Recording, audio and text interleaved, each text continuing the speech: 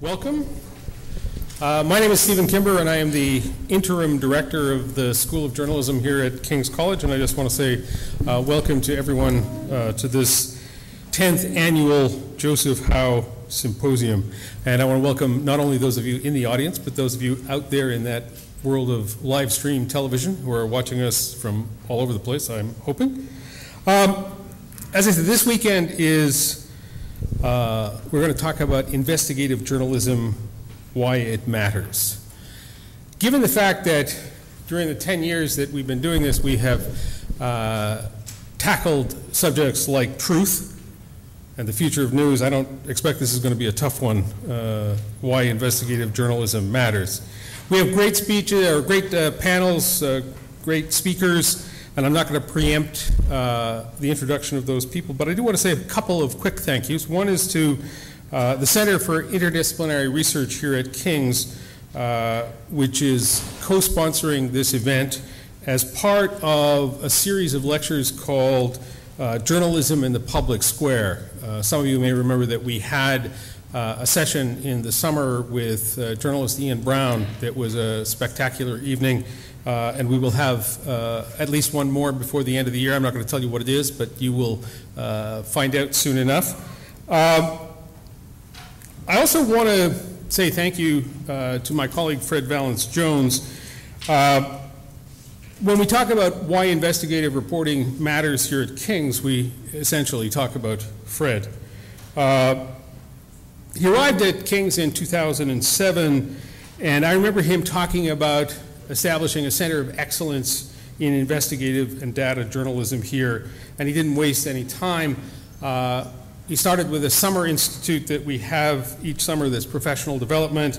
Uh, his undergraduate investigative workshops uh, win awards on a, a, regular basis, not only student awards for investigative journalism and journalism generally, but uh, in the mainstream media as well. We, we do very well thanks to uh, Fred and his uh, team of student uh, investigative journalists. Uh, and he's also one of the driving forces behind our new Master of Journalism program, uh, the Investigative Stream. And so I just really want to uh, say thank you to Fred because this weekend would not have happened without the, the work that he did in getting uh, people here and, and organizing this event. I'm going to let him uh, introduce the rest of the program to you. Thank you very much. Fred.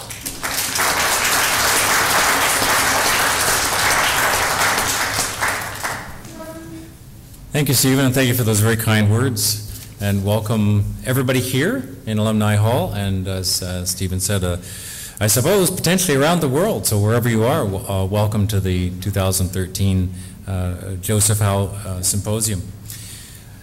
So I was going to introduce myself, but Stephen has done a really, really good job of that, so I'm going to jump right to the content here. And we think investigative journalism is really, really important here at King's because really it's the journalism that perhaps more than any other is sort of the lifeblood of democracy. And I, I, I don't suppose we have to look very much farther than Ottawa and, and folks like you're going to hear from tonight. Uh, does, you know, when you realize that this entire uh, Senate scandal wouldn't have happened without journalists on the job using investigative techniques. And uh, you're going to hear a lot about that over the next uh, couple of days.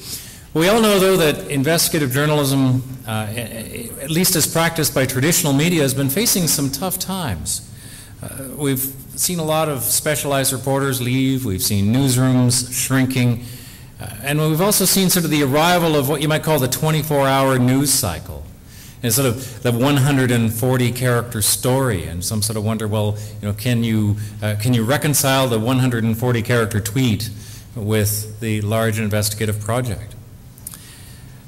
Well, there have been some people trying to do something about that. And one of the things we've seen, of course, is, you know, here at King's, we, we run our investigative workshop, and it's become a sort of a local investigative institution. We have the Coast here, which is doing a lot of tremendous uh, investigative work, and Tim Bousquet is sitting over here. He's going to be uh, talking to you tomorrow about his Michener Award uh, nominated in CAJ top award winning piece on Peter Kelly. So there's people who are out there who kind of keep this, this, this light alive. And we also have people, you know, who are developing new ideas uh, in terms of investigative journalism. So we have foundations that have become very big in the United States, ProPublica, for example. And tomorrow we're going to hear from Suzanne Reber from the Center for Investigative Reporting in California, where they're doing remarkable sort of digital multimedia investigative work. So even though we're facing these challenges, there are some really amazing things happening that are sort of keeping the light of investigative journalism not only alive, but I think in many ways it's thriving in ways that it hasn't, hasn't before. Now, of course, tonight we're going to focus on these uh, these two guys, uh, Glen McGregor and uh, and, and Stephen Maher, uh, and they uh, are, of course, uh, work out of the Press Gallery in Ottawa. And in a moment, Tim Currie, my colleague, will introduce the panel. Um, but I want to take just a moment and I want to talk about the guy who kind of started it all. This guy who's up here behind me in this little pencil sketch.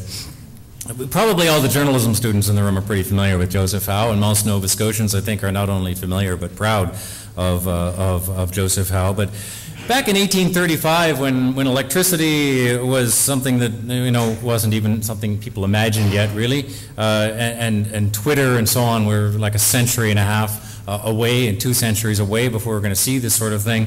Uh, Joseph Howe had a newspaper called the Nova Scotian, which was quite an institution here. And eh, one day, uh, a letter to the editor in 1835, I think it was New Year's Day in 1835, was published. And this, this letter, let's just say that it was, uh, this letter was not your usual letter to the editor, and it was believed by most, of course, that it was uh, approved, shall we say, by, by Mr. Howe. And it, it, made some allegations about the local magistrates, some investigating report, investigative reporting of its day, the local government of its day, suggesting 30,000 pounds or so of uh, funds had been kind of uh, embezzled and so on by these uh, uh and extorted by these uh, magistrates. They weren't too happy, and in the day uh, they had something called criminal libel, which was on the books, and you could be uh, you could be charged with a criminal offense, and that's exactly what happened. And so, uh, with uh, not much uh, delay, Mr. Howe was dragged before the court to answer, and and he had he had gone to a couple of lawyers in town and, and asked them, you know, well you know, can you defend me in this thing? And they said, look, it's a slam dunk. You're going to be convicted uh, there had been a case about 30 years before uh, that had seen uh, another person convicted, and, and, it was expected that he would go down too. In fact, so much so that at the trial, as I understand it, the Crown brought one witness basically to say, yep, the, the libel occurred, guilty. Uh, but Mr. Howe decided that he would, rather than uh, trust these local lawyers, he was going to like run his own defense, and so that's exactly what he did. So he got up before the uh, the court, and this is down where the legislative library is today. So if any of you are down Province House, down there where the legislative library now used to be the court, and he got up for what, what I think was about six hours in his own defense. And I'm just going to quote a couple of words from Mr. Howe before I finish. So he says, Your verdict will be the most important in its consequences ever delivered before this tribunal. And I conjure you, conjure you to judge me by the principles of English law and to leave an unshackled press as a legacy to your children and to these guys. You remember the press in your hours of conviviality and mirth. Oh, do not desert it in this day of trial. And he went on, Yes, gentlemen, come what will, while I live, Nova Scotia shall not shall have the blessing of an open and unshackled press. But you will not put me to such straits as these. You will send me home to the bosom of my family, and so on. Well, didn't take the uh, jury more than a few minutes to acquit him.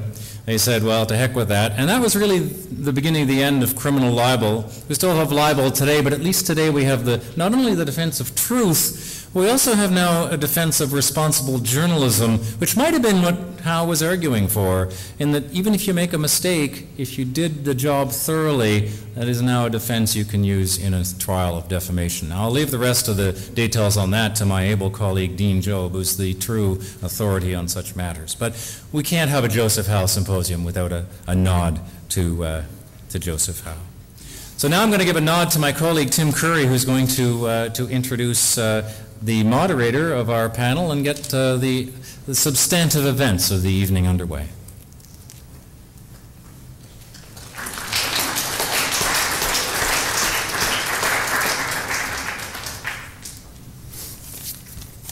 Good evening, everyone. Uh, our host for this evening is the Globe and Mail's Jane Taber.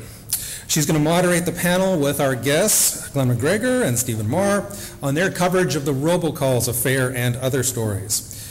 Jane is the Globe and Mail's Atlantic Bureau Chief. She has covered a multitude of stories in the region, from investors making bets on rural Nova Scotia to chanting St. Mary's University students.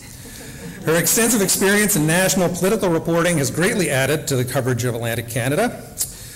Jane has been with the Globe and Mail since 2002. She has spent most of her career covering politics on Parliament Hill, first with the Ottawa Citizen, the National Post, and then the Globe. For nearly seven years, Jane was also the co-host of CTV's Question Period. She and Craig Oliver, CTV's chief political correspondent, grilled politicians about the issues of the week every Sunday morning. After 25 years of writing about politicians, covering election campaigns, and numerous leadership battles, she wanted to try something different.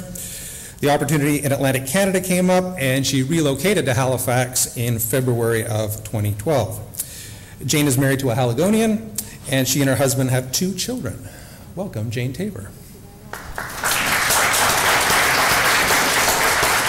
Thanks, uh, thank, thank you very much, Tim, and uh, thanks for, for all of you coming here. And this promises to be a spectacular night, better than Ian Brown's night, I have to say, to, uh, to Stephen Kimber.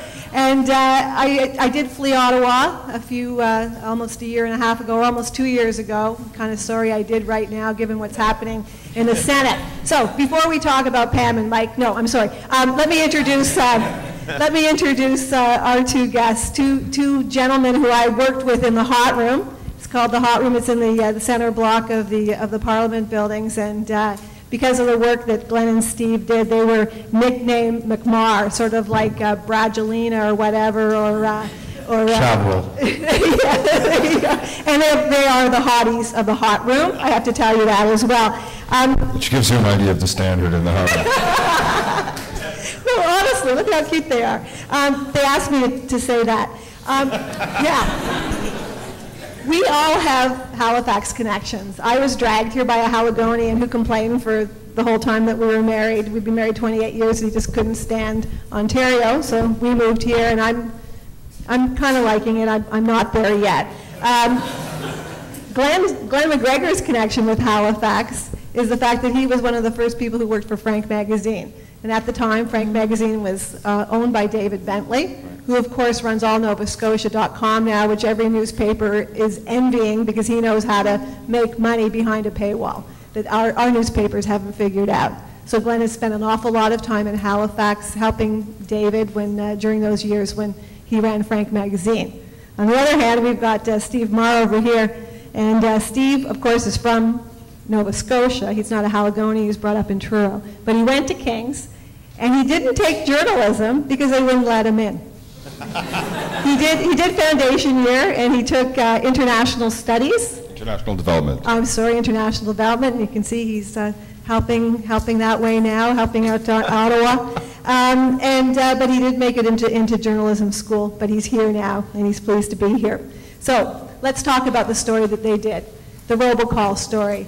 It was so significant that they won the Triple Crown of newspaper awards, a CAJ award, a National Newspaper Award, and the, uh, what was it, and the Governor General's uh, Michener Award, and there are cash prizes that come with those awards. That's pretty, that's almost unprecedented. I don't know of any other stories that have uh, won the Triple Crown like that in, in, in, that, in that one year.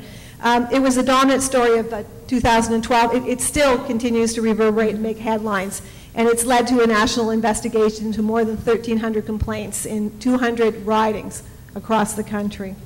Uh, it, uh, it raised public awareness, and this is probably the most important thing because we're talking about democracy here. And it raised public awareness about how the democratic franchise can be compromised, compromised by new technology. So we'll start there. And we're going to start with how they got the story. Glenn.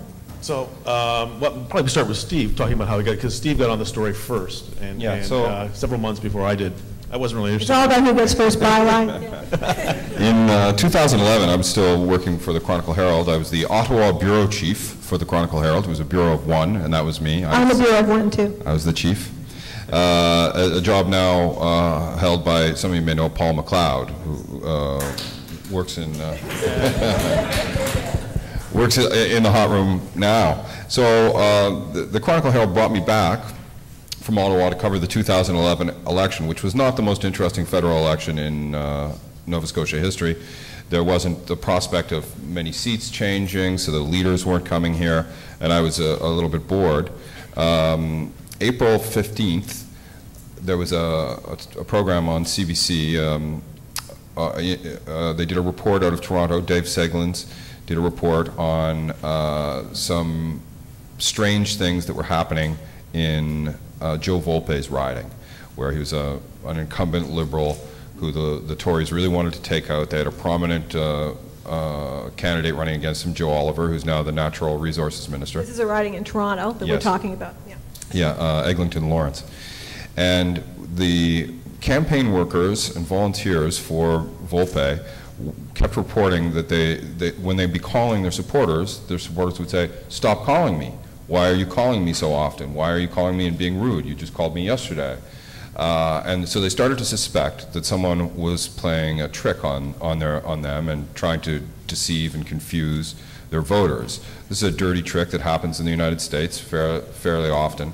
And the idea is that you pretend to be calling from a campaign so that the people get alienated and decide not to vote. I'm not going to vote for you because you've called me too many times.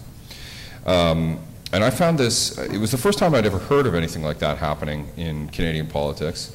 And with time on my hands, I, I kind of started to uh, obsess on it a little bit. Uh, partly because if you think about it, the implication is that someone has hired a room full of people to sit around at telephone calls and do something unethical, something that they shouldn't do.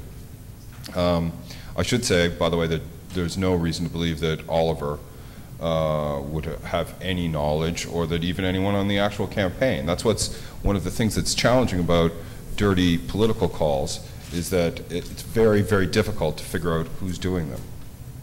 Uh, so I got kind of obsessed with that and started to try to think about it and, and try to turn it into a story because there was a report that in uh, Prince Edward Island, a candidate there named uh, Guy Gallant, who uh, was a, a liberal candidate, that there were people calling into that riding as well. I never got a story out of it at that time, but I kept working on it and uh, pursuing it and thinking about it and talking to, to uh, um, sources. And I went to Toronto once to do some interviews.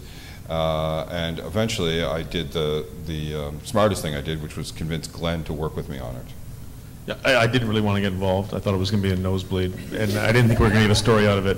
Uh, I had spent uh, five years almost working on a, a, a story, a related story about violations of election uh, law called the In and Out scandal. Uh, probably very few of you have heard of it because it was it was a scandal that, that uh, really only accountants could love. It was complicated, involving wire transfers of money, and uh, it, it did lead to this, which was a, a raid on the Conservative Party headquarters by Elections Canada. That was kind of exciting. But uh, uh, John Ivison, who's a, who a columnist uh, with our company, uh, famously dismissed the story as being a bicycle crash, and uh, it was it was really demoralizing to me. Uh, and then Steve and I still argue to this day about whether it's uh, the story was the in and out story was as significant as the robocalls. Uh, I think Steve's winning that argument, um, but uh, it did have the effect, I think, of creating the, the first threads in a narrative uh, that would dog the conservatives uh, up until this day, which is that they are play fast and loose with election law. And there's, there's more history going back to, on that, that that Stephen Harper, when he was out of politics, famously sued uh, Elections Canada uh, over third-party advertising restrictions in a case that uh, was called Harper v. Canada. And uh, his critics love to bring that up every time they can. Is, uh, but, uh, so he had this demonstrated animus towards Elections Canada. Um, and, and so uh, I didn't really want to get involved again. I, I, I thought the, the in and out uh, story was, uh, it was kind of demoralizing the way it ended. And, um, but then something happened, I, think in the fall of that year, where there were reports of these calls being made into uh, the Montreal riding of an MP named Irwin Cotler. And the calls were suggesting that he was going to, about to retire. And they were, they were presented as a poll, but it really was what we call a push poll. It was you ask people questions, and you're not really interested in their answers, but you want to communicate information to them through, through the questions that you ask, and they're usually nakedly partisan attempts. So I, I started writing about that, and I think it's after that that Steve and I realized that we should maybe start working together on this. And it wasn't until, uh, I guess, January of last year that we really got serious. In January, in the House uh, in Ottawa, it was pretty dead on Parliament Hill. There's not a whole lot going on. So we started making phone calls, and uh, uh, we, we use stories like the Dave Seglin CBC story as kind of a jumping off point, and we started to build uh, a little database of uh, ridings where, where these things have been reported. And we just shared this, this uh, spreadsheet on Google Docs, and we would start calling anybody who was involved in any of these campaigns where, where there'd been calls reported. So we'd phone up candidates and, um, you know, campaign managers, uh, volunteers, saying, what did you hear? Do you remember anything weird with phone calls? And quite often they did. They had, their stories were, were inconsistent, uh, they varied a lot, but as we assembled this mosaic of ridings, uh, a pattern did kind of emerge, and we started to see that, yeah, something was going on, and the place we heard about the most was in Guelph, Ontario. And I think during the election campaign, there had been, I think on election night, hadn't there been some complaints in Guelph that people were going to the wrong polling stations and that sort of thing? 'Cause I remember I was in Michael Ignatieff's headquarters that night, very depressing night for Mr. Ignatieff, but, uh, and we were hearing those kinds of stories. Yeah, that's right. And, and the, when we did this process, uh, one of the things that we did to sort of figure out which campaigns to, to call was comb through media reports from the time. And there were reports from across the country, here and there, in the local paper saying, oh, there were some strange calls and Elections Canada is warning people or that kind of thing. Um, so and this was the, the process, and it's, I think it's kind of interesting. What the um, reporters in Ottawa now are always complaining about how it's because of the media control style of Mr. Harper and the Conservative Party, it's much more difficult than it once was to figure out what's going on. If you ask them, they say, uh, we're doing great things for the economy, no, no answer. So I, I think that this process, what we did here, is interesting, uh, and it's a, uh, it's a good uh, approach to dealing with an organization that is as secretive as the Conservative Party of Canada, is instead of asking the Conservative Party of Canada, you try to think, well, what impact would this have had? Who else would know this? If there were unethical calls, then people will have received them. Let's find those people and ask them. So you're kind of working from the outside in rather than the inside out. Yeah, let's also talk a little bit about the collaboration, because you two are unique in that you don't usually see two reporters collaborating. Reporters generally have big egos, and uh, it's very difficult to share a story and, and, and work, you know, collaboratively on a story. So I know these two guys, because I've worked with them, and I know that they bring different strengths. Glen, for instance, loves gathering the data and really not talking to anybody, but putting together databases and that kind of thing. Whereas, I'm kidding, but, but he's good at that. Um, whereas Steve is the sort of the more gumshoe kind of reporter who knocks on doors and works the phones and, and pulls the strings. Um, I don't mean pull strings, I mean pulls threads of, of different stories to, uh, to get that story together. So talk a little bit about that. Uh, the there's a the first time we worked together, I was working for the Chronicle Herald and Glen was working for the Citizen, and um, uh, I did a, a funny story. I think it was 2008, was it 2009, on um, uh, economic action plan spending in Nova Scotia. And I did a, uh, I've sort of built a spreadsheet of all the announced spending projects because I'd noticed that an awful lot of things were going into the riding of Central Nova, which is the riding that belongs to Peter MacKay. And nothing at all was going into the riding of Peter Stoffer in Sackville Eastern Shore as an opposition MP. And I started to think, oh, well, that's funny. Look at that. Look, I guess some economies are going to be more stimulated than other economies. Uh, and I got a decent little story out of it. Um, and uh, but I, and then I thought this someone should do this for the whole country. Somebody should analyze this and see how the money breaks down across Canada. And I knew that I didn't have the computer skills to be able to do that, and Glen did. Yeah, so I, I- so I did all kinds of computer trickery to, in, in order to find out how we could uh, show that these 6,000 projects, and I was speaking to Fred's class about this today, the process of, of taking all these 6,000 projects and putting them on a map and having the, the software generate, and, and that's really what showed us our story, was that we could actually uh, quantitatively show how these ridings were being hosed. Uh, These not, these opposition ridings were, were not benefiting from it. But I, I think one of the lessons of, for us, with the robocalls thing, and, and those stories as well, was that uh, two heads is uh, better than one on these kinds of stories, because each reporter has different styles. Uh, I mean, uh, Steve is, is, is fantastic. He knows every, I've lived in Ottawa most of my life, and Steve's only been there seven years, and he knows probably about 10 times as many people as I do. He's very social. He, he, he uh, goes out to events where, uh, where there's going to be political people. He knows everyone. I take a different approach, but it works, and, and. it- My point, you yeah, talk to and- and- people. Yeah, and- and it. actually, it came one point, Steve accidentally accused me of having Asperger's syndrome uh, during, during the course of the thing. Uh, And uh, I mentioned that to my wife, and she said, well, yeah, everybody knows that in the family. But, uh, and not to say Steve doesn't have data skills, and I I can also do interviews too. I'm not, I'm socially functional.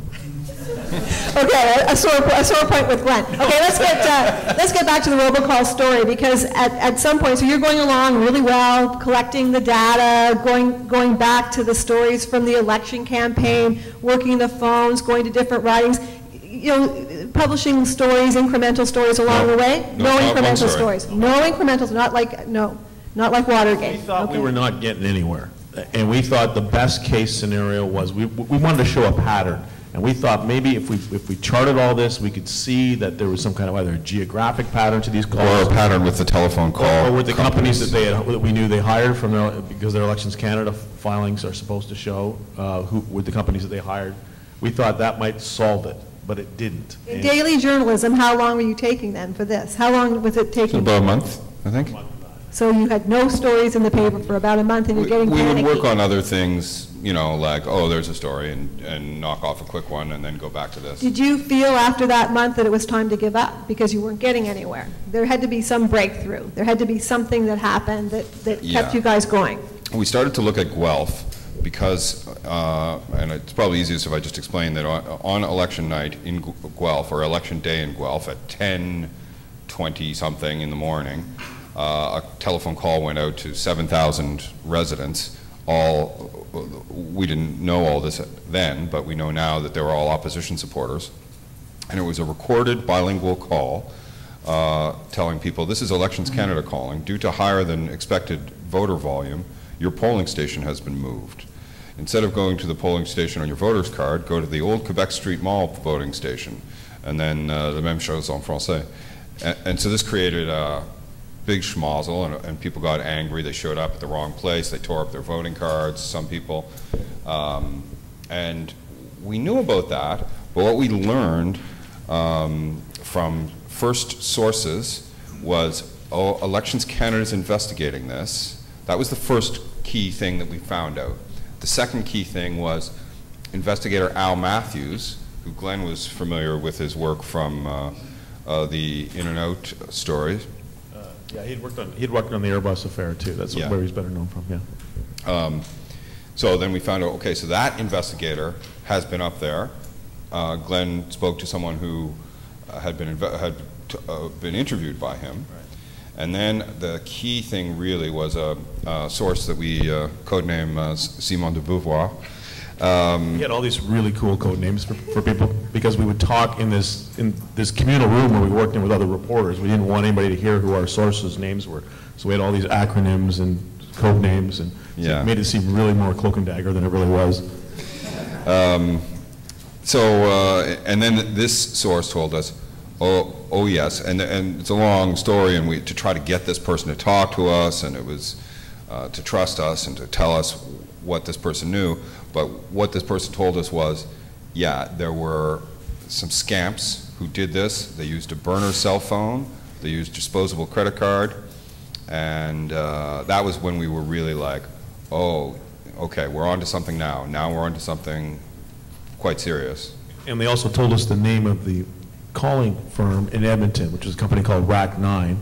uh, that was the, the target of the Elections Canada investigation. But election, how did you find out that Elections Canada was investigating? Did they tell you? Did you just call up Elections Canada and they said, no? Elections Okay, well, Canada Explain that has a then. history of never talking to any, to journalists, and, uh, you know, they're accused of leaking all the time, but uh, they were not particularly helpful to us.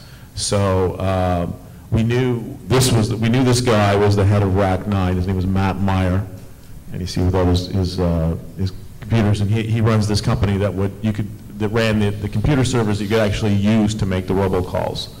That's all a voice over IP system. Uh, So we we were focused on him, but all we had at that point was one source, uh, off, uh, a background source who we trusted, and we felt their information was right. We didn't think they were lying to us, uh, but we didn't have enough to publish, because we couldn't just go with this allegation that this company was under investigation. So we had to keep looking at uh, uh, other ways of, of trying to track, track it down to them. And We face creeped the shit out of them. Yeah, Facebook, we got everything, wrong. that's, that, was that a Facebook picture? Maybe not. We had all kinds of Facebook pictures of them. Uh, So earlier in, in the project, I had gone over to Elections Canada, and it's a, it's a little known fact, uh, not too many political journalists knew it at the time, although lots of them do now since the story came up, is that every election campaign, uh, so all the, all the local candidates here in Nova Scotia are required to send all the receipts that they have uh, filed to back up their expense claims, and they get uh, put in uh, these manila file folders in Elections Canada, and you can go in and look at them. And uh, usually it's things like bills for pizza, bo- you know, pizza for volunteers, or the printing of campaign signs, it's all kind of, it's kind of boring. But uh, every once in a while, they'll put in a phone bill by mistake, uh, because a lot of the campaigns, they hire uh, uh, uh, mobile, mobile phones for their staff, and what they tend to do, if anybody looks at the printed phone bill, you'll see it's, you know, the, the information about the, the, how much you owe is on the front page, but quite often it's bundled with a list of all your calls. And so we started combing over these, I'll show you what one of them looks like. This thing, this is, the this, is- these were the calls from the Marty Burt campaign, this, this, that they had accidentally submitted this entire list of phone calls. So we spent, uh, I spent a couple of weeks combing over all those numbers, trying to see who they were phoning, and, and, and in many cases, actually just calling up the number and asking who it was. Uh, And Which is tricky. yeah, and we, we didn't get anywhere on that. It just, it just didn't uh, click until Steve got this source who said, look at RackNine. And we went, and went back and looked at the phone numbers, phone numbers again. And sure enough, I don't know how I'd missed this because I'd looked at them a hundred times, but there on election day were two phone numbers to 780 Edmonton, where the company was, and that's Matt Meier's cell phone number, and that was the number of the company. And at that point, that was kind of our eureka moment, and uh, we You can see, you can see the timestamp there, it's 11:08, so it's moments after the call goes out. Yeah, and this, this first one here, it looks like that they got voicemail probably, it was a 30-second call. Uh, But then the other one later in the day was longer. So they were obviously talking about how well whatever they had done had worked. And And so, who, who told you about Rack 9? Simone de Beauvoir, code name, Sim- And- source code name Simon de and- Beauvoir. And where did you find this person? Um, I don't know that we should probably, Talk Because I think people. I know, but that's, but that's what you need. You We- need one of those kinds of people. You have to work these people over. You just met them in a bar, you, they knew what you were doing, they called you, like, how of- how does it happen? okay, so in this case, uh, part of uh, the the process of trying to do a story like this is talking to a lot of people who are involved in politics and saying, oh, yeah, yeah, yeah, well, well, here's what I'm working on. We're doing a story, we're looking into uh, sketchy calls in the last election. Do you know anything about that?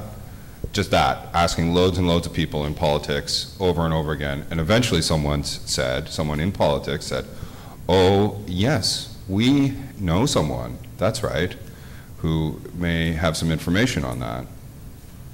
And then it's a matter of saying, well, can you get that person to call me? Well, we can try, but I don't know if, well, really, it would be really a good idea if you could get them to call me. And I've actually looked at the email exchanges I'm having with the intermediary.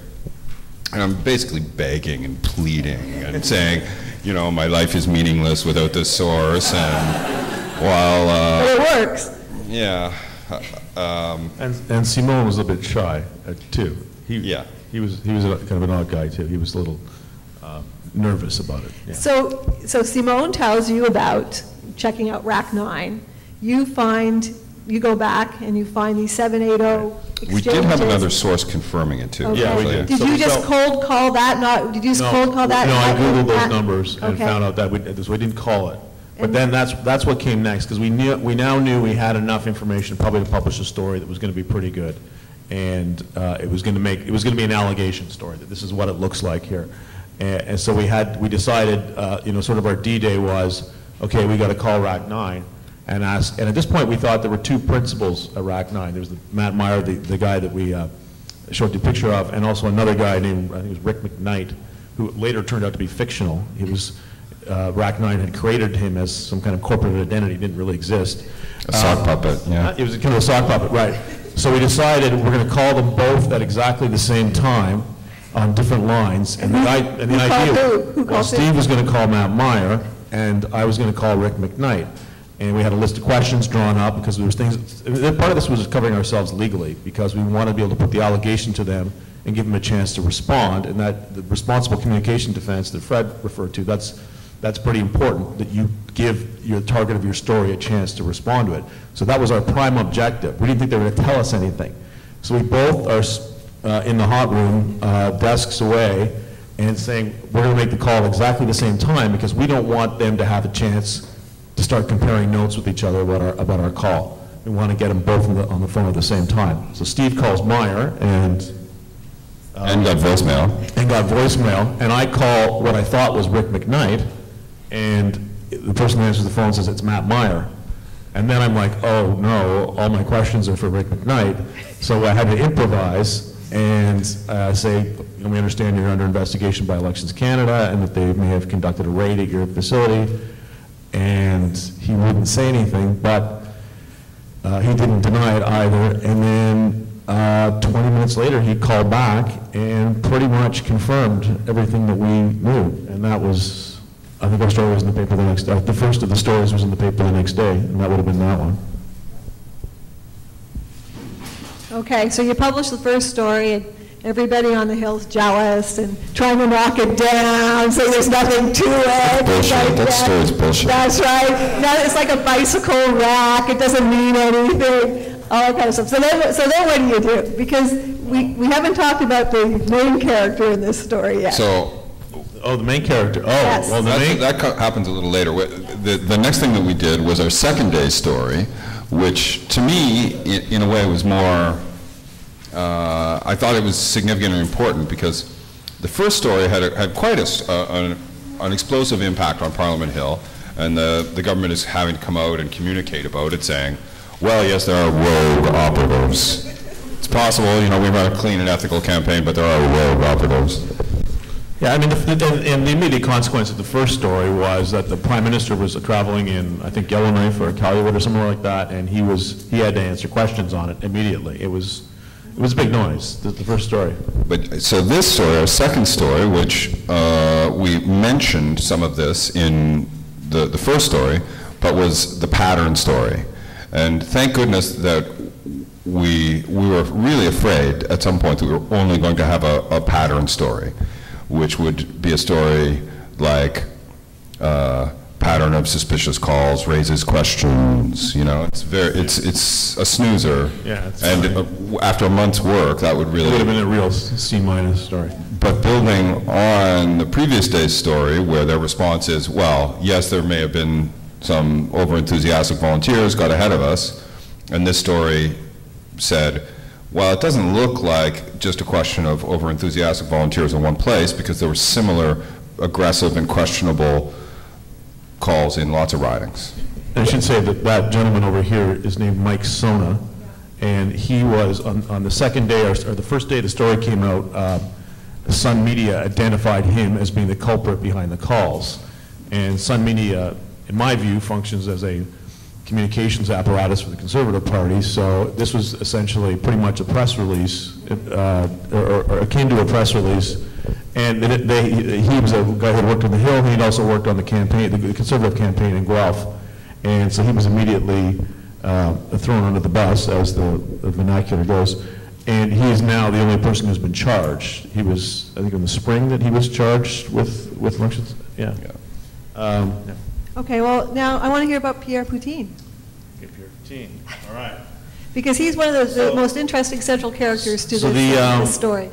uh, when Elections Canada had conducted this raid on RackNine's offices, and they went in and got all their data and all their, their phone records and all that stuff, uh, we knew, and I knew this from coming to the In-N-Out case, is when, when you do that, uh, you have to get a court order.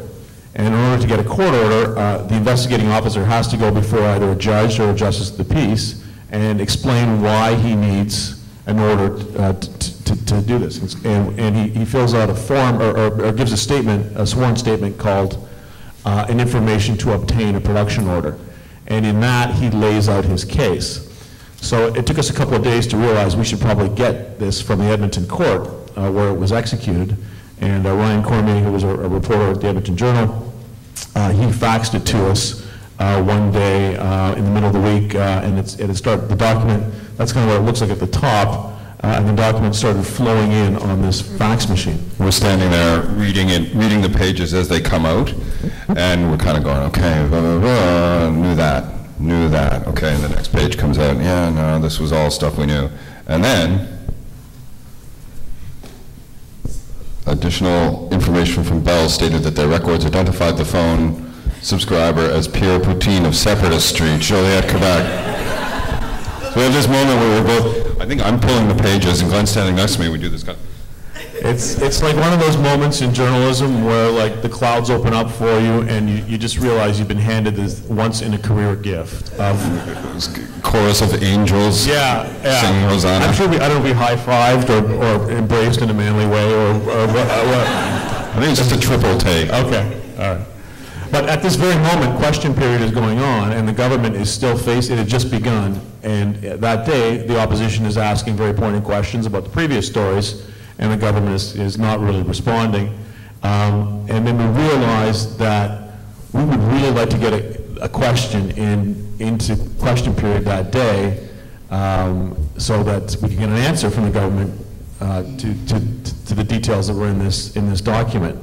And uh, so, um, well, actually, before we started writing it, I went and tweeted. I was so excited by this name. I, I tweeted this. Um, it wasn't very mature of me to do that, but. Um, and then Steve started writing the story, and, and well, I was indulging myself here. And, Did yeah, it so- make, did it make it onto, into question? So, yeah, th- and this is probably the most interesting and fun moment I've had in my career in journalism. Uh, We bang out the story, uh, file it to our editors, our uh, excellent, patient, marvelous editors, uh, Andrew Potter and uh, at The Citizen and Christina Spencer at Postmedia. And Glen goes down, I forget where you went, Glen, but I went into the house. I, I went down to Scrum, well, we got, but the, but the question was asked, right? Yeah, no, but while, while question period's ongoing. Right. And I, I should say, actually, we wanted to get it out during question period. We were also petrified that the Globe and Mail, Right. who We want- we were want- also going to the Edmonton courthouse. We knew were the Globe, scoop we knew us. from our guy in, the- in, and this is where it started to get really competitive, uh, because any advantage we had coming into this was lost because the story was out there. And we knew the, from our, our guy in Edmonton that, uh, the Globe also had the same document at the same time, and may actually have had it before us. And we were quite afraid of Jane's colleagues, Daniel Leblanc and uh, Campbell Clark, uh, and Steve Chase later, but we, you know, there are, uh, we admire them as reporters and we're afraid that they... So you're saying that we missed the story, you guys got the story first? Didn't miss it, we just got it a little earlier. We did the analysis, we did, we did the mop-up analysis and columns later, yeah. And uh, actually, Steve advanced the story significantly at different times, but Well, let's, you're getting off topic here. I want to hear Okay, about so- how you planted a question with the Liberals, opposition, in Well, no, question. no, no, no, That's what I want to know. No, we didn't, we didn't plan a We had to be- question. we had to I went into the house, we put the story up, and I'm sitting there uh, with, with my phone in my hand, repeatedly checking Twitter to wait for a link to come up so I can tweet it and send out our story. And so I'm sitting, looking down at the opposition MPs on one side and the government MPs on the other, and then the story goes, and immediately people are retweeting it and retweeting it. It's like my phone is almost getting hot in my hand because it's su- such a bizarre thing, Pierre Poutine. Um, and uh, I see Denis Coderre, uh, who's now running to be mayor of Montreal, uh, gets up and goes back behind the curtains, presumably to do a get a question ready, and Robert Aubin, the uh, MPD, gets up to do the same thing, and then they uh, come back, and you can, uh, okay, maybe they're going to ask the question. Meanwhile, on the government side, I see Peter Van Loan take out his BlackBerry, read this, hand it to the Prime Minister. The Prime Minister of Canada is sitting there reading the story without, uh, does not, he'd be an excellent poker player because he didn't, uh, he wasn't like, oh my gosh, right? Pierre Poutine. and then they asked the, the questions, and so it got, kind of got the story out. It's good to get, and we were actually uh, criticized or questioned about put, dropping a story during question period by uh, um, uh, Norman Spector, who's a knowledgeable sort of media critic, thinking that it was sort of inappropriate. But there's, you want your stories to be in question period in part because then all, every other news organization can cover the same story, hanging it on question period, right? They- And if that's the only thing that Norman Spector has to criticize about your story, I really wouldn't, I really wouldn't worry about it, Well, to tell you the he had other truth. concerns, believe me, but that's, that's a separate topic for another. So you get Pierre, you get Pierre Poutine out there, the prime minister's reading your story, you- you're forcing them to respond, and then, then what happens? Because we still don't know who Pierre Poutine is. Well, yeah, and, and one of the people, this was interesting, because Guelph, we haven't really talked about Guelph, but anybody ever been there to Guelph? It's a, it's a lovely little town, uh, it's kind of a, got a hippie vibe, but it's, a- it's basically a university town. Uh, and it turns out that, and we didn't know this at the time, I think another reporter figured this out, was that there is, in Guelph, uh, a student hangout called Pierre's Poutine. And the gentleman named Pierre, uh, his last name I forget. uh, From Joliette, Quebec. and he's from Joliette, Quebec. So suddenly it looks like, oh, somebody stole this, this idea for this name from the place that they probably went uh, after the bars uh, in, in Guelph. It's a clue. That's what you call a clue. Okay, so, you okay, yeah, all right, okay, good fun story. Right. Yeah. So that's out. So then we get to the point then where um, uh, we, we decide we really need to talk to Al Matthews, who is the lead investigator. And uh, when we go through the for- uh, Elections Canada, uh, they're, they're kind of a, I would say they're a secretive organization, but they just, they're not very communicative, and they don't like questions from reporters. And they're restricted by the act. Yeah. From, from- their legislation doesn't allow them to be like, oh, shit, I should go talk to some reporters. they have to be very fair. So we thought uh, we could, we could either call up Al Matthews directly and he'd probably hang up on us, but we came up with this idea that we got to communicate with him on the back channel somehow and signal to him that we want to speak to him. And uh, our moment we saw was that because this story created a, a bit of a sensation was the local newspaper on Parliament Hill called the Hill Times was going to do uh, a profile of Steve and I and about how we got the story.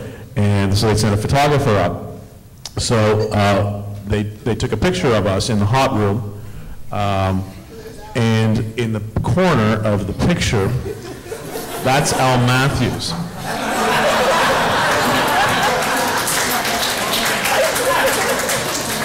And we, we thought if he saw this, this would be the bat signal for him to contact us. We're still waiting for the call. I, I did call Al Matthews once uh, around this time, and it was a conversation like, uh, hello, Mr. Matthews, this is Steve Maher calling from Postmedia News, and I, I wonder, just on background, if we're doing this story, it's going to have, can you just, no, I'm not going to comment, thank you. That's all. So you never got your, your meeting with Al Matthews? Never. We The, the never clue didn't work? Talked to him yet. No, a good idea, though, you guys are creative, and that's what, you know, that's, that's part of this. I mean, that's part of being an investigative reporter, is the creativity that you have to use in finding sources and finding people to talk to, which I think is the most fun, and which I think people are losing these days now with the fact that stuff just gets posted on websites and things, that a lot of new young journalists don't know how to do what these guys do. And it's, and it's, it's a really good skill to know how to do, but when you're just posting stuff on a blog, you're not calling people and figuring out how to get around things. We're a dying breed, I think, print journalists, to tell you the truth. So where does the story go then? Because as I said, you've never figured out who Pierre Poutine is. The charge, where the impact of the story has been changes to the Elections Act, Yeah. and- But- which have but- not but there was- come yet. Before we got there, there was a huge blowback against it, right? Actually, I wonder if there's, there's, where the story went after this, is this got coverage all across Canada.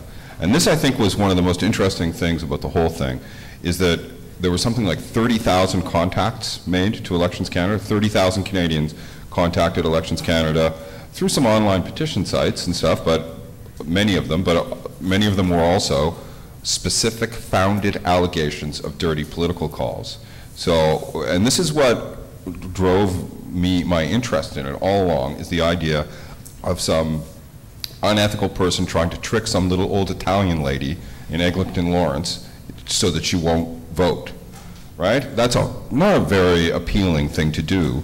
And so, and it looked like Elections Canada was not on that. And after our stories, there was so much public pressure that Elections Canada is on that. And they hired a bunch of investigators and they set up this national investigation that continues. We don't know whether it's a, uh, effective investigation. We know there is an investigation, and there will be some outcome eventually. And What about Michael Sona? What's happened to him? Uh, He's, he continues to d- deny that he is Pierre Poutine. He's- He, he he says he didn't do it. Uh, He's got a a court date in June, I think, next year, uh, to face these, these charges. It's, it's serious for him. I mean, he's lost his job. Uh, He could go to jail for five years if he was convicted, although there's not a whole lot of history of people being thrown in jail for Elections Act violations. But it's, uh, I mean, uh, we're not entirely certain that he acted alone, and I'm not sure Elections Canada is certain that he acted alone either. So uh, we're hoping if he does go to trial, and it sounds like he's going to fight it, uh, that he's going to, we'll find out more about what actually happened. There's a lot that we don't know. We don't know, and, and I feel I should make the point that we don't know that there was any kind of a uh, coordinated attempt to discourage people from voting in ridings across Canada. There is evidence that suggests something, somebody was doing something, or some people were doing something in different places, but uh, uh, you can't, I- I've spent, so- we've spent so much time trying to figure it out, you can't do it without subpoena powers and the kind of things that, that Elections Canada has. So you're waiting now for the trial. That, that will be the, the next stage, and, and hopefully there'll be more re- revelations there. So before we open the floor up to, to questions, just, just sum it up in a couple of uh, sentences, Steve, some of the lessons that you learned from this, and then I'll ask Glen. Uh, One of the things I think that, that uh, we talked about how cooperating is good. I think that two people working together, uh, because creativity is such an important part of investigative journalism, two people, you're going to have more ideas. The, the lesson of this story, as with the, the lesson of the economic action plan story, a key thing is um, don't, uh, don't give up. Keep at it. When they say, no, we're not giving you that information, that's the starting point of, of an interesting investigative project. Uh, Another thing is, if you, it's not the easiest thing in the world to, to do investigative journalism professionally. Uh, And in order to, for your stories to be effective, they have to um, be both in the public interest. I mean, you could just, if you want to spend a career putting together slideshows of uh, celebrity bikini bodies, you can maybe make a lot of money, and it's kind of journalism, but uh, the public interest, something that appeals, that people should know about their democracy, but overlapping that with stories that are interesting to the public. And that, that's one of the things that I found, the, the contrast between robocalls and the in and out story. And, I mean, the in and out story was, and there was clear evidence that the most senior officials in the Conservative Party had orchestrated an illegal scheme to circumvent the Elections Act and spend a million dollars more on advertising than any other party. It was clearly illegal. The party fought it and fought it for years, and uh, ultimately pled guilty in 2011 uh, after the election. Um, But it never, uh, it It was so complicated. it was so complicated. It was one of those and- kinds of stories that was really hard to get your head around, whereas this one. Right, and and in robocalls, we still don't have that connection to the highest reaches of the party, but it resonates with people, and, and I think the reason it does resonate uh, uh, with so many people is that it confirms their suspicions about the Harper government, even though we don't even know if the Harper government's responsible, but, but they believe it's, it's uh, in their character to do something like this. And it's also a story that people can understand, you know? I mean, It's a detective story. Yeah. People like detective stories. Yeah, and what, and what did you take away from this?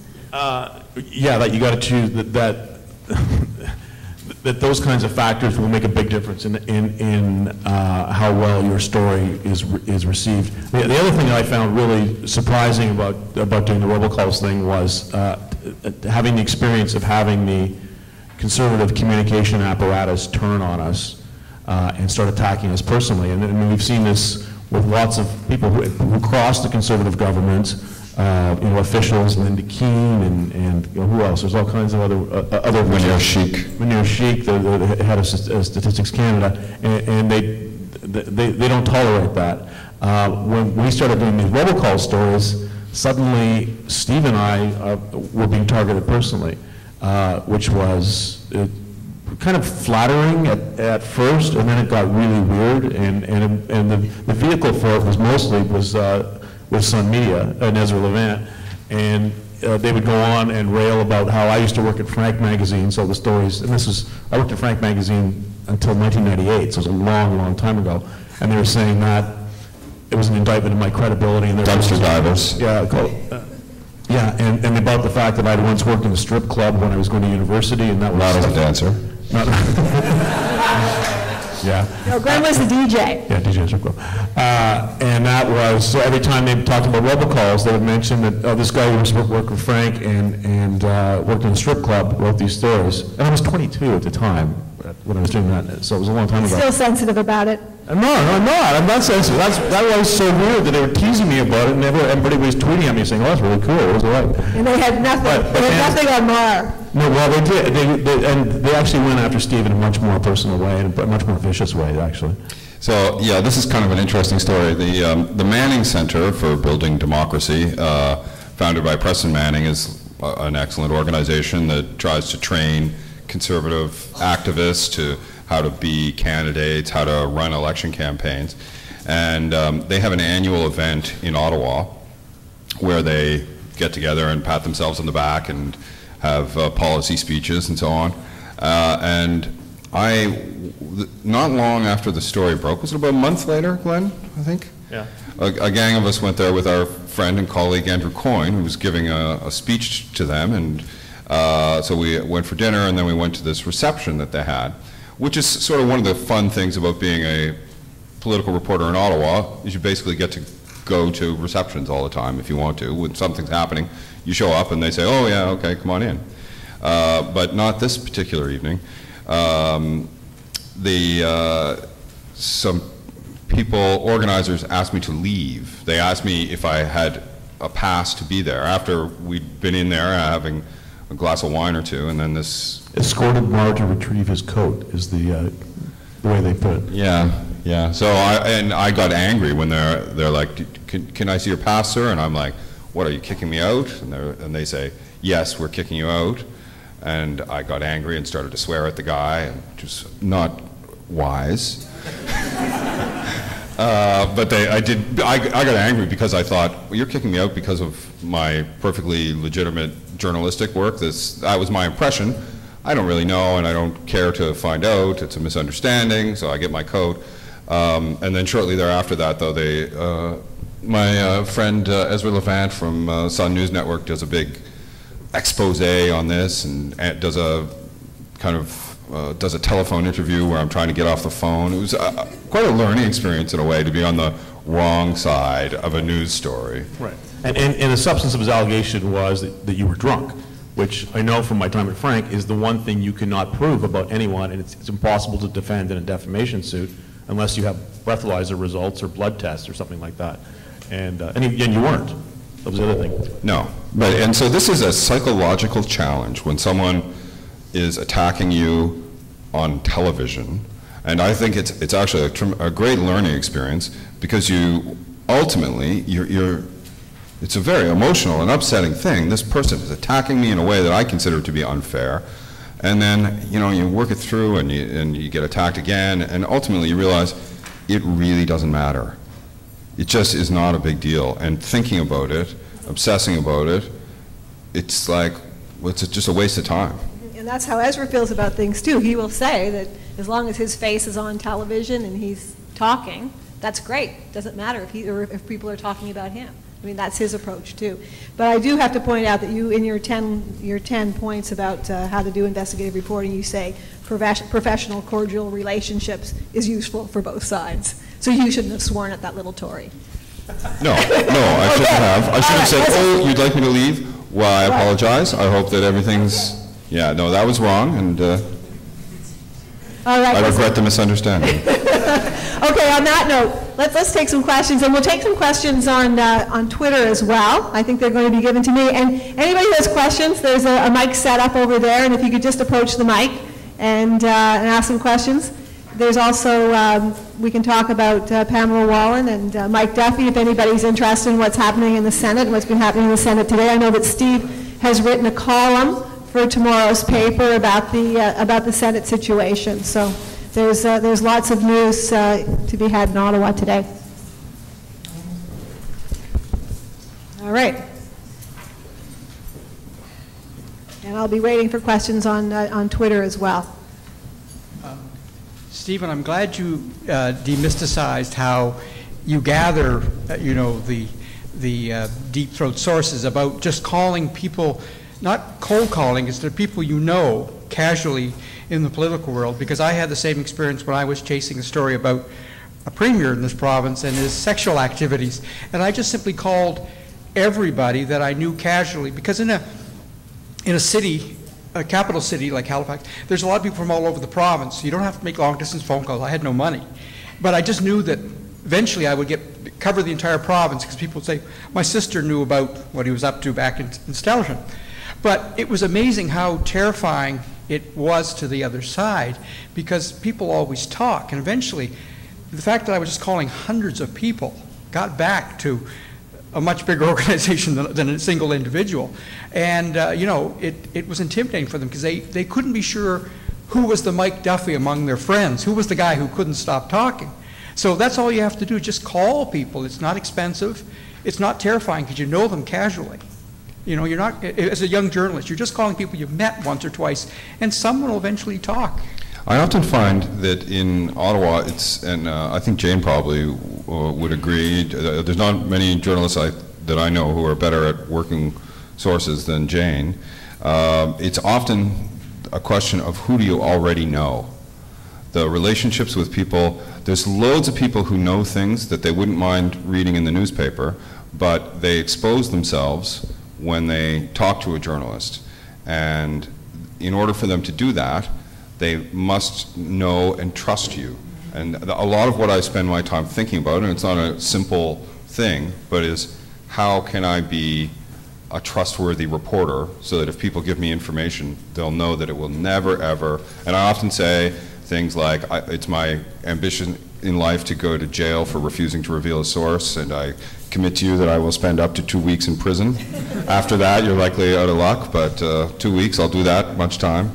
At the same time, though, it's important to, uh, to make sure that you're not their friend. You have to realize that, uh, you know what, it, it's a contract. They, they need you as much as you need them. In fact, they need you more than you need them, as, as, as, uh, as Glen and Steve have, have shown, that when you're shut out by, by the PMO in a way that these conservatives are so good at doing, that there's other ways of getting information, and you just have to sort of go around and figure it out. But at the same time, though, you are not, you are not their friend. At the end of the day, you could just discard them. You have to be ruthless about it. You could just discard them. You have to know that. And I think if you know that, you're a much better journalist. One of the things I remember David Bentley telling me when I was in the early days of, of working for him at Frank was, uh, and I was having a lot of, I was in my mid-20s, and I was not doing all that well. I was getting stories here and there, but uh, I, I wasn't, you know, breaking anything big. And he said, you're going to have to wait about 20 years when uh, the people that you know, your contemporaries, move into positions of power, because the contemporaries you have now are in fairly menial jobs and they don't don't know a whole lot. So that makes a huge difference. But to the point of, of calling as many people as you can, uh, a lot of it is, is work ethic. And, and the, the, the, you know, the guy I think is the best reporter on Parliament Hill is Bob Fife. Uh, and he's got incredible sources. But he comes in every morning and just starts calling people, one after another, after another.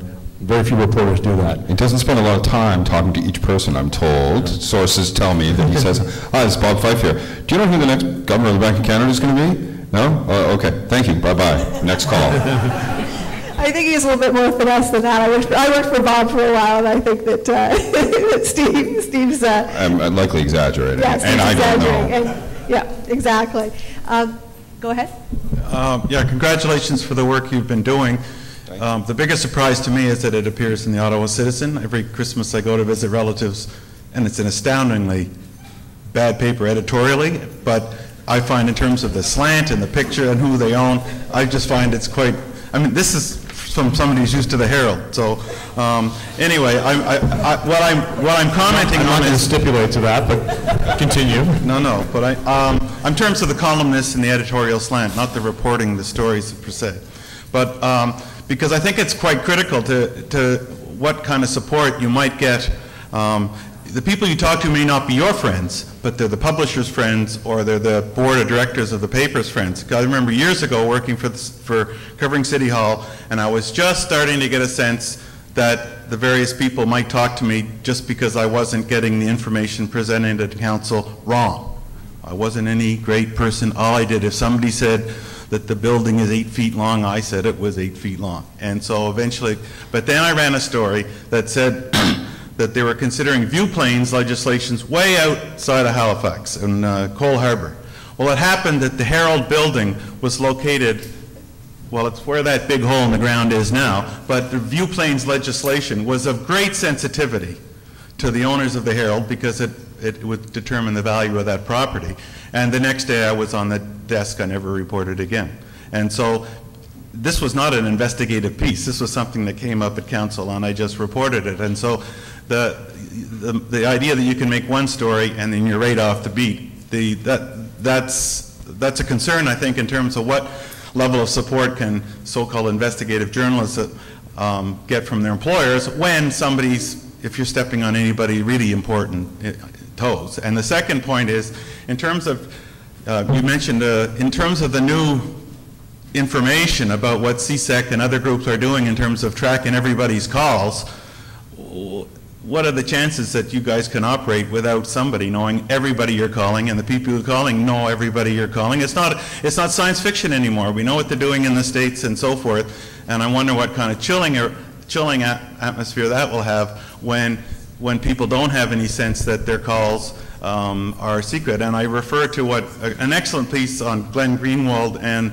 um, uh, the, the woman's name escapes me, in terms, the level of, of, of Uh, what's the term, in, that they have to encode and everything, every email, it's all, Encrypt. it's crypt, it's spectacular. I very recommend every student here to read that article because it, it's at a very sophisticated level. Mind you, they're taking on the United States government, but I think in this day and age, it, it, I wonder what effect, well, the, the technology helps investigative journalists, how much you're going to be under the, not just you, but under the gun when it's quite easy to find out who you are, you guys are calling. Did you guys ever feel any chilling effect at all from, from your, from the employers? No, and that's something that uh, Postmedia and the Ottawa Citizen, uh, th- if they ever received messages from pe- powerful people in politics or powerful people in the business world, uh, they never told us, which, uh, and and they supported the stories,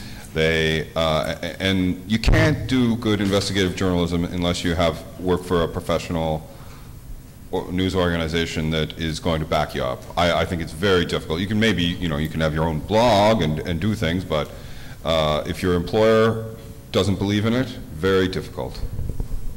Uh, To the point of security and encryption, I mean, we, people were very nervous about talking to us, uh, especially once the story had broken and we were trying to keep it going. And I had one, I had one experience where I'd convinced a, a pretty senior uh, conservative uh, strategist to have coffee with me at Starbucks uh, on Bank Street in downtown Ottawa, and um, we sat there, and he was, he was very nervous, and he kept looking around, and finally, he, he just jumped up in mid-question and said, "Let's go." And we got out on the street, and he said, "Are you taping me? Was that guy ne- sitting next to us taping me?" I go, "What?" And he goes, "There was this heavy-set gentleman there who, who was holding his cell phone at a very weird angle." I was like, uh, "No," it was, and it was very strange. And I realized then that there was that fear on their side, but the fear wasn't. They were, they were just worried about being caught and, and being fingered as a source for us. When actually, this guy actually didn't really have that much information. It was not not all that useful. The CSE and NSA uh, metadata stuff is worrying. I talked to a former spy about this a while ago. Uh, If, I, I- the way, one of the ways I deal with this is um, uh, having the most sensitive conversations in person, where you're not going to be recorded. And I like to, to, to meet sources in person and talk to them. Um, But a retired spy told me that the government, and I think this is right, that CSE, NSA may be recording things, and, but they're, uh, uh, I don't, you need a judicial order to get a wiretap for, you know, they would have to basically fill out an ITO and go to a judge and say, we believe that Glen McGregor is operating a, uh, you know, a strip club, that's right. So it's not like, to my knowledge, political actors can't call up CSIS or CSC and say, the Chief of Staff of the Prime Minister, if, the- if he called up CSIS and said, I'd like to see Glen McGregor's phone records, I'd like to think that the Director of CSIS would say, no, that's not appropriate, that's not in my legislation. Uh, To, to point about communications, this, uh, this government is, uh, is so paranoid about communicating with journalists that everything now seems to be an email, so that they can't, you can't engage them in a conversation so that they could inadvertently say something. So everything is, is, is scripted in an email, which is great if you're on deadline, because you can just sort of cut and paste it into your story, but it's not really, it's not really journalism. And one of the things that I noticed when I moved here was there, there were fewer filters. I mean, the filters are there, but they're not the same kind of filters that you see in Ottawa. I remember trying to get a, an, an official in government here thinking, oh, you know, I'm going to have to phone the press secretary and say this, and then wait, and then they'll ask me what my deadline is, and then they'll say, what are your questions? Because that's what you have to do in Ottawa now. And the guy answered the phone, and I was like, ooh, like I didn't really know what to do. I was expecting that I had my story done by noon, it was unbelievable, I mean, how things go here. But you can see that a lot of the governments now are taking the Harper approach. We saw that in Ontario with Dalton McGuinty. We saw that a little bit here with the Dexter government. Uh, Darrell Dexter was really, really intrigued by Harper's communications and the PMO. And when I would meet with, with Mr. Dexter, he would ask me about that, how things worked and how many questions and all that kind of stuff. And, uh, and you can see that other governments are trying to take that approach because they think it works. You know, just stick to the message, don't say anything else, and don't veer off topic. I have no Twitter questions. So we're hoping for some students. Yes, here we go. Hi, Jane. Uh, this is for all three of you. I just have spoken with Jane in the past few weeks, so I thought I'd This say would be hi. the editor of the Dalhousie newspaper. Yes, I am. But my question, you gave the teaser, so I'll take the bait. Can we talk about the Senate? What's the question? I want to hear your takes on it, on the coverage of it, and where you think it's going to go. Uh, I did a story uh, for tomorrow's paper um, about, I have a source uh, saying that a Conservative Party lawyer, Arthur Hamilton, who is the, the guy who's handled the defense for the party on the robocall story, is, uh, his name features in the emails when the deal was being, uh, the emails that Mike Duffy has, uh, where the deal was being set up, and further that his law firm handled the transfer of money from uh, Nigel Wright to uh, Mike Duffy's lawyer, which, if it's proven, would be interesting because Mr. Harper's defense of this, uh, of the whole thing, has been that this was um, uh, Nigel Wright acting on his own. That was the initial, and that the knowledge of it wasn't spread that widely. If the party's lawyer was involved and had knowledge of this, then that's another reporting channel opened up to Harper. So it's, it raises questions. But I think Glen, who did the first story about Mike Duffy's housing expenses, might have a.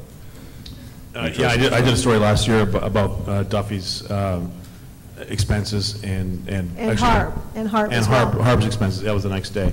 Um, And Duffy came out and said it was payback uh, because he had sued Frank at one point, uh, which was totally bizarre allegation because we'd worked together in the hot room for, for many, many years. Uh, And and that was, it was kind of like the acorn of the story, and uh, I didn't, there was other reporters who did a lot more work on this story since, uh, Jordan Press at, at our company, and, uh, and Bob Fife, obviously, who broke open the, the story about the payment from Nigel Wright. And, you know, I think it's, like, it's almost a Shakespearean uh, situation where, where the, the same story uh, for different governments repeats over and over again. And I mean, Watergate was, uh, you know, uh, uh, described famously as, as a second-rate burglar gone wrong uh, that brought down the President of the United States. And it's not going to be Mike Duffy's housing expenses and whether he actually lives in this cottage in PEI or someplace on a golf course out in the west end of Ottawa. It, it's, it's shown a light on the way the government approaches uh, issues management is what they call it corporately, and um, every day and how it seems is a new development that shows things that they have done to try and make this go away in the interest of political expediency that were not clearly not ethical and probably quite possibly illegal, including today when Senator Brazeau uh, stood up in the uh, Senate and said that uh, the, the government, the, the top conservative in the, in the Senate approached him um, privately and said, if you would just uh, apologize and admit wrongdoing, well, we'll make sure you're not going to be penalized and you probably you might be able to keep your job in the Senate, right? Which is, you know, it's just one in a long string of ham-handed attempts that the, the government has made to, to try and make this go away. And I think it's going to get worse for them because there's an RCMP investigation and everything is, if, if they actually lay charges and there's going to be a trial, all this, uh, all the emails, uh, all the interviews, uh, it's all going to come out and we're going to, I think we're going to see a lot more about it. We've only seen so far little drips and drabs and it's all been driven by really good investigative reporting by a lot of different reporters. But I think, uh, you know, the tools we have as reporters are limited uh, compared to what the police have. They can subpoena documents, they can force people to, to, to testify and give evidence, um, and they can obtain bank records and file ITOs. So I, I, once, once it gets there, I think that's really going to be, uh, that's really going to be dramatic too if it goes to trial. If they do their jobs. I think they will. They still, they seem pretty on the I think they have to do their jobs, yeah. We'll see. Hi there. Thank you all for your talk tonight. Um, I know that you've spoken about your the differences in your approaches to investigative journalism and how that has been helpful in your collaborative process. But can you speak a little bit to times where that has been a little bit more of a challenge or a barrier in your work together? It's a stump. It's a stumper. I know. I know. We, we actually, we don't really uh, argue much. It's weird. Ever? Uh, uh, no, it's, uh, we gotta, uh, We'll have to, we'll, we'll disagree sometimes about the best way to approach a particular thing, but, but usually we come around to a common view. I think our differences are good because Steve tends to be more, like he, he, uh, he, he will pursue a theory much more aggressively, and I'll be the, the I, I kind of think of us as like Oscar and Felix, uh, and I would be Felix and he would be Oscar. Uh, that, oh, that's totally lost on all you people. You have no idea what I'm talking about, right? Maybe some of the older folks would, would remember that. Okay.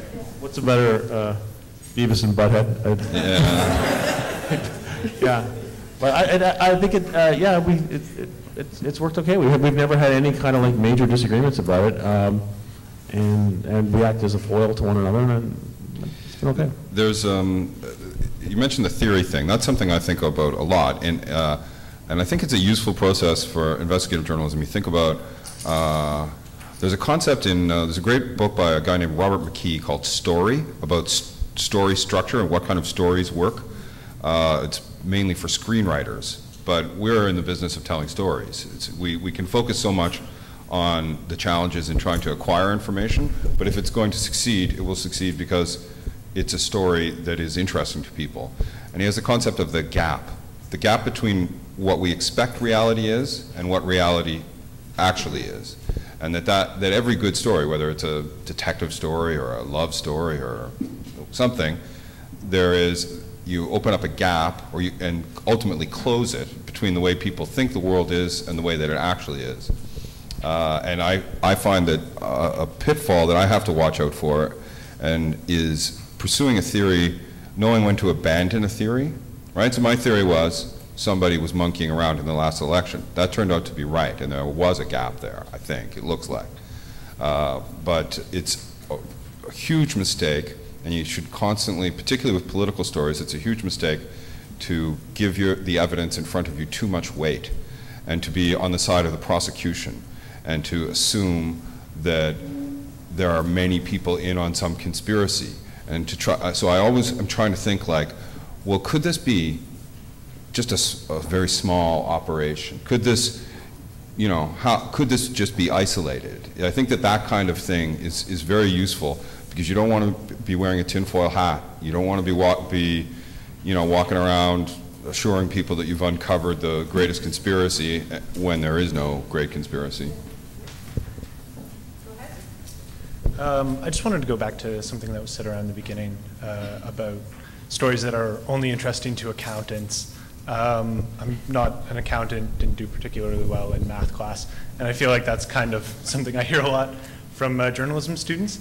Um, I guess my question is, uh, how do we sort of close that gap and turn numbers into stories, and what are some ways that we can sort of learn how to get a hold of numbers because I feel like there's often a lot of stories lost there, um, and things can be hidden quite easily uh, by shuffling numbers around. So I guess the question is, how do we make how do we make that work? Well, I think Lindsay, you've made numbers sexy with, uh, with, with trying to, uh, with the patterns that you do. And I remember one story in the Ottawa Citizen, uh, talking about the parking meters. I love that story. And that was, that was kind of a money story. Yeah, well, But it was sexy. I talked to Fred's master's class about that today. We, we, we did this thing where we went and got uh, uh, all, all the records for every parking ticket issued in Ottawa over a five-year period. And if you look at it, it's just a long list of numbers and and fractions, and it's kind of boring. Um, But what you have to do is you analyze it and you look for trends. And then one of the trends we spotted was that there was a lot of parking tickets being issued around hospitals.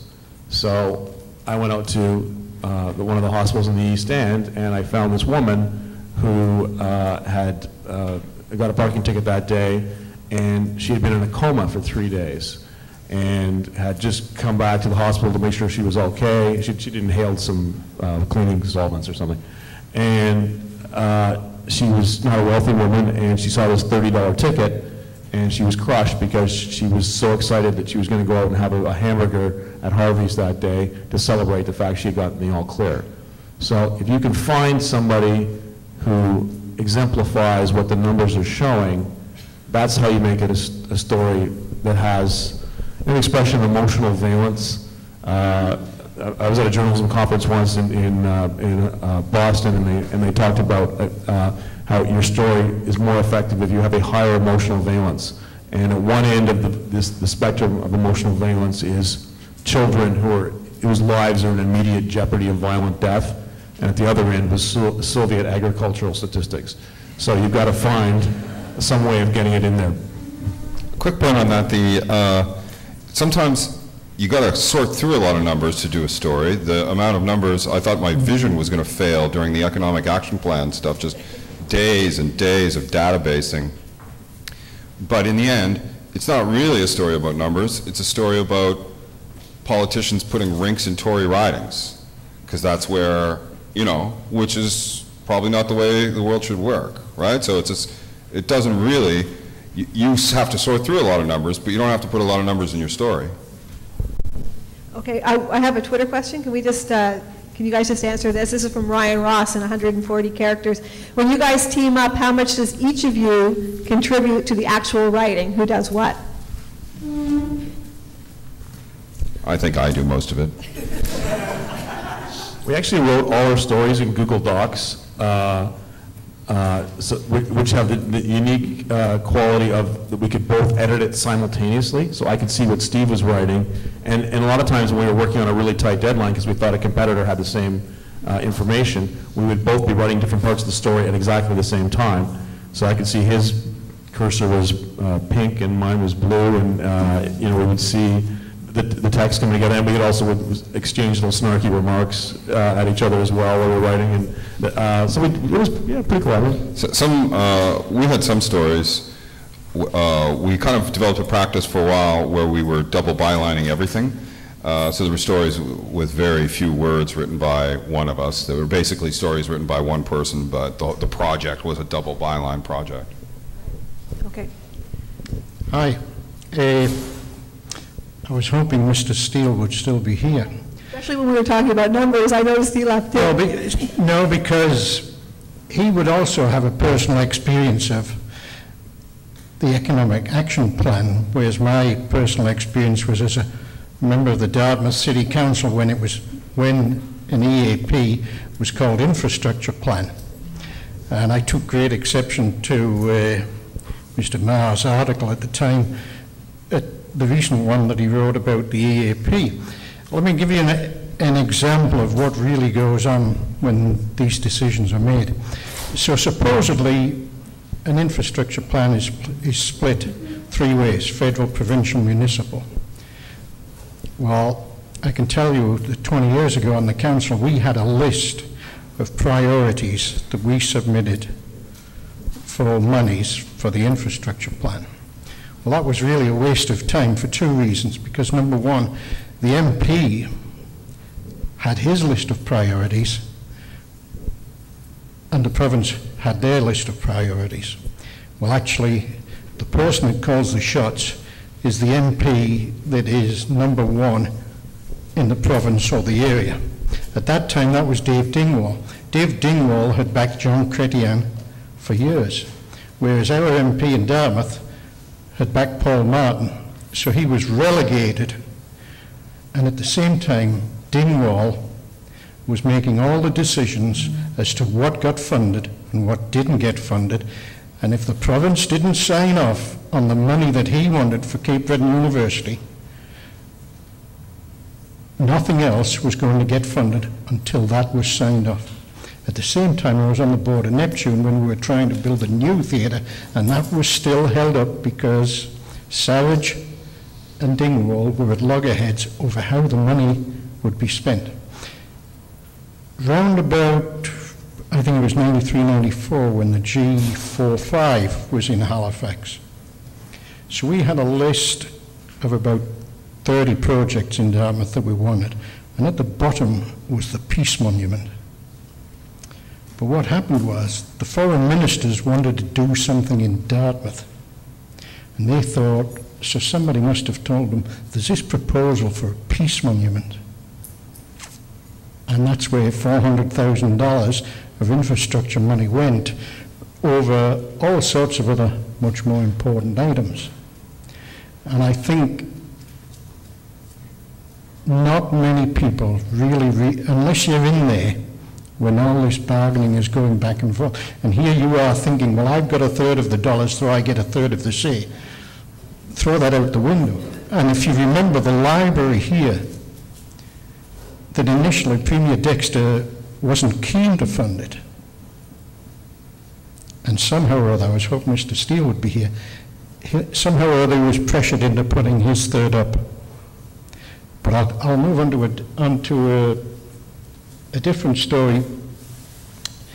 Halifax, a number of years ago, gave it, its pension plan gave over $40 million to State Street Canada, a subsidiary of State Street Boston.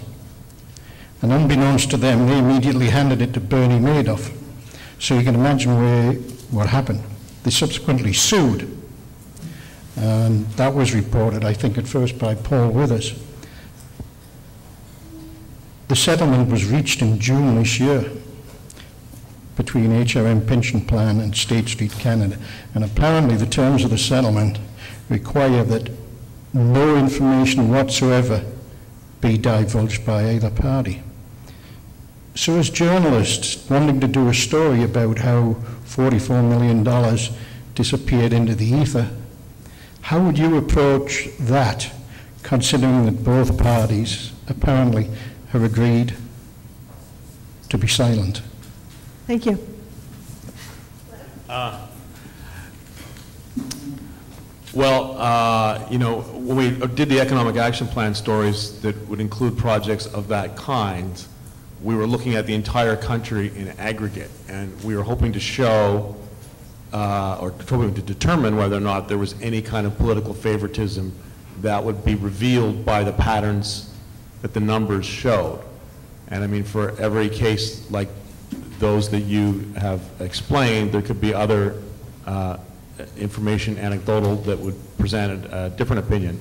So that's where dealing with large amounts of numbers and, and thousands and thousands of projects, our approach was to look at, at look at, it as a as a rather than at the project level, but the, to look at that as a a statistical analysis of a, of a countrywide program with billions of dollars at stake. And that, I mean, that, that would, that might have been a great story for the Herald to go in and dig down and find out what happened there, but it The wasn't. Herald did do a lot of work on, on Dingwall spending at the time, and, and uh, Bill Casey, Highway Bill Casey accused him of basically stealing the, the highway. The, the- there's a toll road between Nova Scotia and uh, New Brunswick, and uh, the, there was federal money earmarked for that, that instead ended up building a, uh, a highway to nowhere in Cape Breton.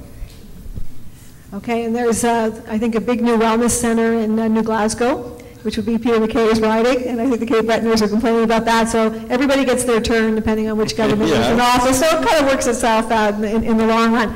On that note, I want to thank everybody for, for coming, and I want to thank Steve Maher, Glen McGregor, for participating tonight and for their wonderful work on the, on the robocall story. You guys, it's been a real treat, so thank you very much.